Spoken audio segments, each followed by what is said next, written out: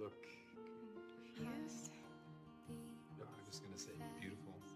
I'm gonna talk um, for a little bit at least, and then you're going to listen, and it'll be your turn to talk. You told me once, a long time ago, that you couldn't imagine your life without me. And I told you that I wanted you you'd figure something out. And then we spent years apart, a world apart.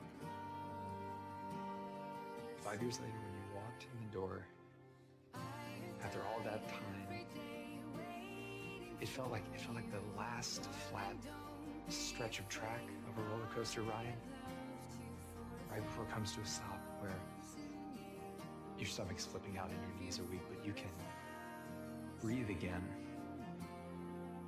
That's when I knew my life, Aria, for the rest of my life.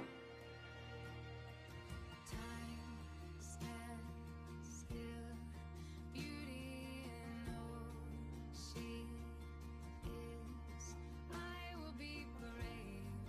I will not let anything take Aria Marie Montgomery. Will you marry me? It's not okay. I'm so sick of this. I'm not going to apologize for loving you.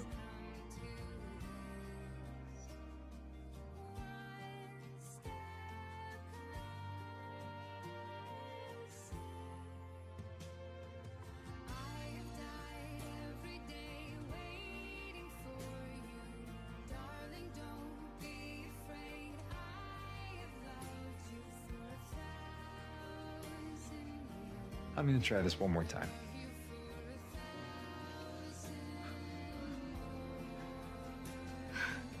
Will you marry me?